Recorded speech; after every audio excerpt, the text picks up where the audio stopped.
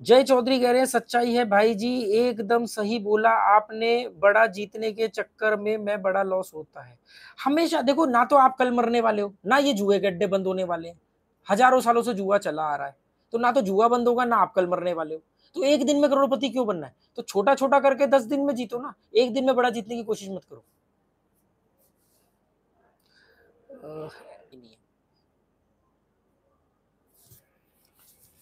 Hello, normal YouTuber normal YouTuber कह रहे हैं, सर, बड़ी बैट लगाने से पहले डर लगता है। उसके बाद अगर बैट आ जाती है तो सोचते हैं कि अच्छा ही यही तो साइकोलॉजी है।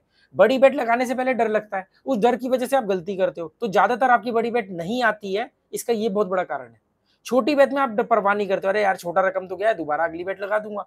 वहाँ पर आपकी गलती करने की गुंजाइश कम होती है क्योंकि आप कॉन्फिडेंट होते हो। और बड़ी बेट आ जाती है तो फिर आपको लगता है कि अरे, ये तो बड़ी बेट, एक बात समझ लेना, आपको एक बहुत बड़ी बात बता रहा हूँ।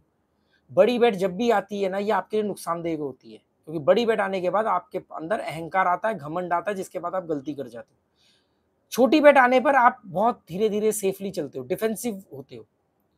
देखो, जो जुए में हीरो बनेगा, वो बर्बाद होगा। जो जुए में रक्षात्मक प्रणाली अपनाएगा डिफेंसिव मोड में खेलेगा डर डर के खेलेगा। अभी मुझे एक बार किसी आदमी ने बोला कि, अरे, आप तो कायर हो, डरपोक हो, डरपोकों की तरह खेलते हो। मैंने कहा, डरपोकों की तरह खेलता हूँ, इसीलिए मैं हमेशा प्लस में रहता हूँ। बहादुर बन के हीरो बनूँगा हाई रोलर गैम्बलर बनूँगा, बड़ी रकम में जीतूँगा और बाद में सब दे जाऊँगा।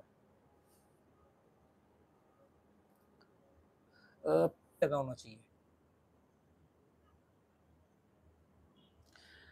यूके राणा, सर, मुझे 100-200 से ज़्यादा बेट लगाने में बहुत डर लगता है, लेकिन ज़्यादा प्रॉफिट नहीं होता है लेवल के हिसाब से ना जाके। बॉस, आपको उतने ही अमाउंट से बेट लगानी चाहिए जितने अमाउंट में आपको डर ना लगे। अगर आपको, आप उस अमाउंट पे जाते हो जहाँ पे आपको डर लगने लगता है तो आप सोच लेना कभी जीत भी जाओगे, पर आपसे गलतियाँ होने की संभावना ज़्यादा बढ़ जाएँगी मतलब कम जीतोगे, ज़्यादा हारोगे। मोटिवेशनल वीडियोस कह रहे हैं, सर प्रॉफिट को